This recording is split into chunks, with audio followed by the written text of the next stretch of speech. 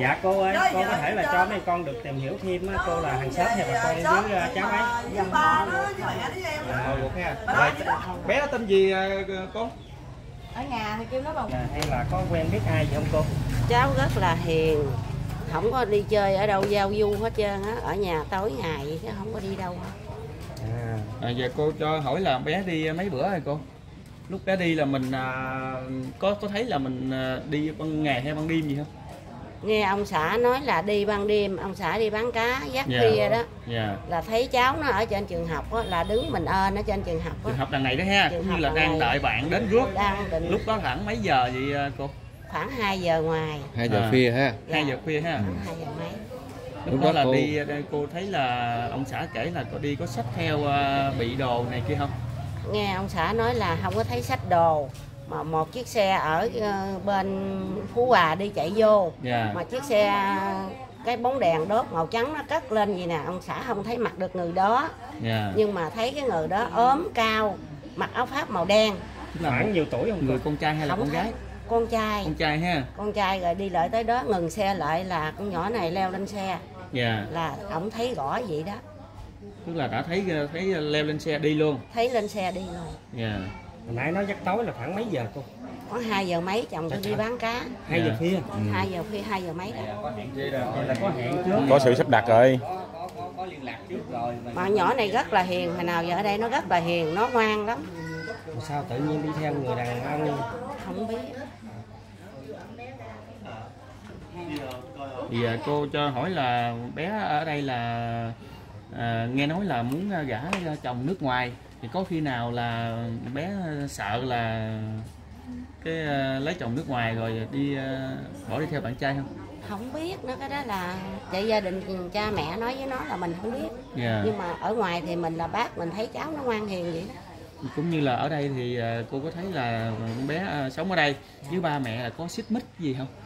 không gia đình nó rất ờ, rất là hạnh phúc vui vẻ lắm chứ không có gì Dạ. tuy nghèo thiệt nhưng mà cha nó bệnh hoạn vậy nhưng mà cha mẹ nó cũng không có cho nó đi làm cái gì Dạ. để là mẹ nó quản lý nuôi với cô nó tiếp vậy thôi Qua nhà ai Lúc trước là có thấy là bé đi đi làm ở đâu xa không? Hay là chỉ làm ở vòng vòng ở quê mình thôi? ở đây mà nó không có đi đâu xa con trước thì với mẹ nó có lúc trước đó, ba nó đi bình dương với mẹ nó đó À, là thì ở- đi cả gia đình Dạ. rồi về về cả gia đình cũng năm mấy hai năm. Lúc đó là về đây bao nhiêu năm rồi?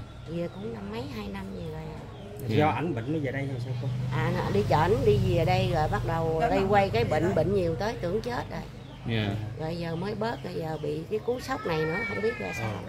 Hồi nãy thấy ảnh khóc từ đầu đến cuối luôn. Á, nó cưng con nó dữ lắm gia đình nó sống vui trời vẻ bà chị nói là mấy bữa nay ảnh không ăn cơm luôn. Con vậy đi rồi giờ không ăn luôn nữa. Đây là cho cho hỏi. Dạ. Dạ. Đây là có ờ, bạn bè gì nhiều không? Nó chào bạn Không có có. như nhà ai có đám có tiệc á thì nó mới qua nó tiếp rồi cái Dạ. nó chơi rồi cái nó về à. Dạ. nó đưa em nó đó Thương nó, nó hiền với lắm nó nhỏ nó nó lớn hơn con em có hai ba tuổi vậy con em học lớp 9 Dạ. Cẩm Ly à, hồi đó là học tới lớp mấy à, nghỉ à, chị? nó cũng lớp 6 lớp rồi 6 mà lớp 5 lớp 6 năm, lớp sáu thì nghỉ rồi. Dạ. Đến tại tới gia trường đình nghèo lớp nha năm tại mà. gia đình nghèo không có khả năng cho nó học ừ. ừ. rồi mấy ba bầm nó thì mới bệnh ờ, nằm phẫu thuật đó rồi mới bệnh mới khỏe hồi thuốc lại đó là còn uống thuốc phổi nha. Thuốc phổi anh còn uống mấy tháng nữa mới hết. Nó bị phẫu thuật kết lần đó. Ờ anh đương bị phổi nữa đó. Vậy là hiện tại là gia đình đang gặp khó khăn về vấn đề à, tiền thứ bạc tài chính tài chính ờ, tài chính luôn. Rồi rồi sao không biết cách sao mà điên gì đó. vợ thì không biết chữ nữa. Mẹ nó thì không biết chữ lắm không biết Dạ. mẹ chữ là không biết chữ. Rồi ờ, đau ốm hoài mà không gài tiền bạc cũng không có rồi thấy nó mừng nó hết cũng còn mấy tháng nữa mới hết uống thuốc. Ở đây vòng vòng người ta cho tiền cho á, tiền người cho người, người trăm đi phẫu thuật đó người cho đó, một hai triệu hai ba triệu gì đó. Rồi đi phẫu thuật ở trên Ờ, ung cho bướu tiền mẹ để ra mình tìm. đi tìm đi tìm đó. chứ đâu có tiền đi không có tiền đi. Nói chung là Ừ. mình đến đây mình thấy chị nè mấy cô ở đây ai xóm. cũng đều ở sớm đều thương tiếc cho em gái này hết khi Ừ. mà ra đi bỏ lại cha như thế. Trời ơi ba nó qua qua đây ba ngày nay đâu ăn ba uống nó không ăn cho chị giờ thấy, hoài à, luôn Cẩm Ly là có quen bạn trai được Lớn em bạn trai thì em không biết thiệt nha tại vì tối ngày nó không có đi đâu hết trơn á nó chỉ ở trong nhà nó bấm điện thoại mẹ nó đi làm thì ở nhà tới giờ đi học Dạ. rồi thì rước nó. À, rồi đưa nó rước nó đi rồi đưa nó về. dạ vậy là rồi đó Bởi không biết nguyên nhân gì dạ nữa. đúng rồi không có biết rõ lại phải như vì nó quen nhà bạn trai thì làm tới cha làm lui mẹ thì mà. chở á thì không có người này thấy cũng có người nó kia có bồ nó có không bạn á thì mình cũng không có không có tức lo lúc gì nãy gì cũng tới có đó. cái cái cô chia sẻ là bé đi lúc mà tầm 2 giờ mà có Dạ. một cái người bạn trai đến rước Ừ, cái đó là cũng như à, ông cậu bảy Thấy ông đi rồi, bán cá mình đi đâu bán thấy gì thôi, chứ không biết không là- có nói Dạ. biết là Không người đó là bạn hay là Dạ. người ở ngoài gì mình cũng không biết Dạ. thấy nó đi là định được là một Ờ, là mình không biết là những người mà từ chỗ đó gia đình Ờ, mình ờ, ờ, thì mình cũng không biết ha. cái Ờ, đó bạn trai là bạn không Ờ, gì mình không có biết cái đó. Đấy mà gia đình biết là bạn trai rước thì gia đình cũng không có Mình sợ nữa. không có sợ tại vì mà. gia đình biết là có bạn trai còn đằng này không sợ là biết. sợ người lạ ha. Dạ, dạ, mình dạ. không biết chuyện gì sẽ xảy ra. ờ ờ đó là Rồi vậy. cái bà kia bà mới đưa cho nó chipper một cây dầu là một cây dầu cái thơm với cái áo là Dạ, bữa trước là qua bữa sau là tối là nó đi đó. Trời ơi. là Ừ. gì đó là nguyên Bởi mới là gì? Sợ, trong khi đó mẹ nó lấy về có mẹ nó lấy thì mẹ nó không biết gì trơn. Mới ngày qua bà bình tĩnh lại bà mới kể lại lại. Shipper đem đồ lại là Không cần lấy tiền. không có Không có lấy cần lấy tiền. Ờ, quản. là đem đồ lại là nó nói là có một người Dạ, đúng rồi, đó là người người thanh toán tiền người ta thanh toán thì tiền hết cho con À. rồi. Mẹ Nó hỏi gì nó nói gì đó. Không lấy tiền ship mà không lấy tiền Không lấy tiền ở chỗ đó ngộ ngộ ha ờ mà một bộ đồ là biết nhiêu vậy từ giá là 200 tỉnh với lại mẹ nó mới đồ. lại cho vòng vòng ở đây nghe vậy đó. Thì bởi vì như mình ở dòng họ thiệt nhưng mà mỗi người mà nhà riêng hết rồi rồi không có không có biết là như là hồi đó giờ không có nó quen là con bạn trai nào hết. Như là ra đường đi đi ra ngoài đường thôi là chỉ Đi là chơi hay đi nhận đi đồ cũng là có cha nhận đồ mẹ đó đi chơi đi đâu cũng phải đi chơi cha mẹ chở.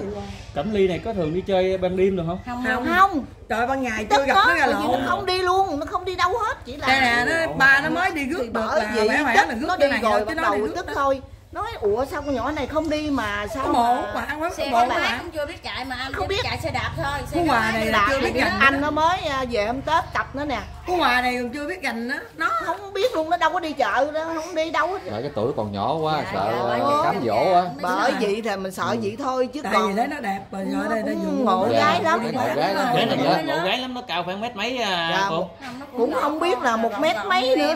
Tại vì nó cũng như cái này vậy. về mà nó tròn mình nó trắng tươi à. À, nó Trắng đẹp lắm. Ừ. mình thấy cũng dễ cưng lắm. Nó nhỏ em nó vậy đó nó ngộ hơn cái em nó nữa đó. Xin, ờ, em cũng ngộ nè. Đó, nó là em nó em qua nay khóc mụ trên kiếp chi hai. Khóc kiếp gì hai mụ trơn. nhắc tới chị hai hồi Ừ. lại nữa nè.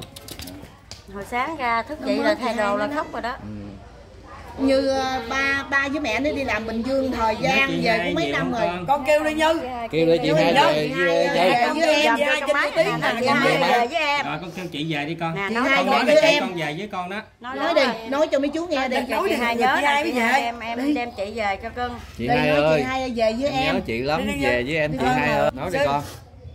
Chị hai à, nghe con là chị hai về đó. nói đi đi đi con Vậy là không thương chị hai phải không? Thương chị hai rồi. Không em. rồi. nói chị hai về với em nói đi chứ gật đầu nó không Vậy là Nhân đâu. không thương chị hai rồi. đâu bây giờ con nói với mấy chú đi nói ờ, chị hai về với em đi đi nhớ chị hai khóc suốt luôn Vậy là không thương chị hai phải không? Như thế nè như ơi à, gì à, với ba nhắn đi, nhắn với chị hai đi, nhắn chị hai nè, nhắn đi. Bây giờ cô Dạ. cô với chị rồi Mày nói có đi. lời nào muốn nói với ờ, Nhắn đi chị. cháu Nói Cẩm với Ly Như này đi. không để có khi mà cháu xem qua được clip của mấy anh em có thể là nghe lời cô hoặc chị đâu để về nhà nói đi như ơi con về gia đình ba con giờ đang gầu bệnh nó nhiều lắm lại á luôn vậy. thì ờ, con trở về gia đình đi cho em con em vợ với mẹ con cũng khóc dữ lắm bây giờ ờ, gia đình mong con đi về với ờ, với ờ, cha mẹ tha thứ cho con hết đó con về với ờ, gia gia đình đi cưng đừng sợ gì con đừng sợ gì hết. giờ con ai cũng thương con hết. Con trở về gia đình đi cho ba con mừng. Giờ con ờ, thấy cái mấy chú này quay đó con nhìn đi rồi con trở về gia đình. Mày đi ba ngày nay ba mày ba không ăn ba con không ăn uống ba nằm bây giờ mẹ mà cũng không ăn uống luôn. Mẹ nó đi trên chở nó mượn tiền của ta đi Tức là chỉ có mới, mới có đi trên kia tìm thôi còn mình có có tìm những cái chỗ khác không? Không, mới có nền nó đi đó mới đi tìm là hồi Có nên mẹ nó 12 đi, ba nó đi đâu có nổi đâu đi. 12 giờ đêm là đi tính đi đặt vé ha Ba nó đâu có Hai đi nổi đâu. đi đó mà ba nó đi không nổi Dạ. Rồi nè chở cái này là đi ra lại chút xíu mệt trở gì á Ờ, Biết đi đâu nó giờ. Liên hệ cái chỗ mà mà làm của ờ, bé ờ, rồi luôn rồi luôn là nó không luôn không Bạn bè cũng không luôn ha. Không. không không ha. Sao mình nghi vấn là ở về Bình Dương mình đi tìm Bình Dương? cái đó là mình đi hên xui thôi anh. Hên xui. Đi hên xui kiếm thôi. hồi lúc đó hồi đó nó làm ở trển Chỉ có à là chị mục đích của chị lên trển thì kiếm ăn nông sản phải không ờ ờ mình nghĩ là nó đi Bình Dương. ừ, nó không đi Bình một Dương tại phần á là hồi xưa gia đình á Ờ, là làm ở Bình Dương. ở Bình Dương nên Ờ, có ờ, thể đường ờ, đi nước bước ở Bình Dương Ờ, đúng rồi, đúng rồi. Ly nó biết Ờ. nên có thể lên trển nó sống bởi vì nó mẹ nó sợ cái là nó không đến tới đó rồi Dạ. mẹ nó mới hồi tối đi với ba nó mà hồi với xe đợi ba nó đi không nổi luôn. Dạ. rồi chỉ là mẹ nó đi là Thế đi điện tiền chảnh đây rồi cái đầu mất Đâu công có tiền gia đình sao? giờ đâu mình mình điện cho chị mình ờ, hỏi coi cái kết quả làm sao rồi. Có có điện thoại không? Không. Ở đây có đây có. họ chỉ tại vì chị đi á là đem theo điện thoại luôn rồi nhưng mà Dạ. có người nhà người nhà già nó bên đó nó có Dạ. nó có mà cũng không biết là làm sao. Hai người sẽ điện cho chị thử. rồi xe con hỏi thêm á cô là vậy là hiện tại bây giờ là anh bệnh vậy rồi à, chị làm cái nghề gì trong thời gian này Có làm gì đâu. không có làm. Đi vô công ty á là là người ta người ta không có nhận ta nhận mà nhưng mà ta đưa qua bên sơn á bên sơn người, người nó không biết làm. Rồi bắt đầu thành thử ra sơn á thì bên sơn nó không biết làm nó nó không có được năng suất không có tiền. Thì cái nó nghĩ nó nghĩ là vô qua bên trái cây qua bên trái cây á thì một ngày á gọt cũng không biết làm được cũng không Mẹ được. nó nhỏ con rồi như nghĩ bà nó nhỏ nhỏ này xíu mà nó nhỏ như nó này vậy nè. Mẹ nó mà không biết chữ nữa. Trời ơi. Không biết chữ Đâu luôn. có chữ đâu. dạ không dạ biết con chạy hiểu rồi. Đâu. nói chung là gia đình hiện tại bây giờ là anh đã bệnh Ờ. ở nhà một chỗ Ờ. rồi chị thì cái Không- công việc bắp bên chưa giờ không làm gì được hết. Rồi con gái hiện tại con gái vậy như vậy. Đó rồi không có tiền thuốc Ờ, men không. rồi không có tiền để đi kiếm cháu luôn. Ờ, À, đúng đi rồi. mổ là hôm đó đó anh mà- em nè giờ đây rồi cho dưới đi sớm ta ra xin là được người ta xin tiền mấy triệu cho đi lên Đi ung bú xe. mổ. Là bác sĩ nói chừng à, trễ chừng tuần nữa là hết cứu rồi. Nó ăn vì nó ăn dạ cảnh dạ gia đình. đó đó để con ờ, con sẽ qua con gặp anh để con gửi cho anh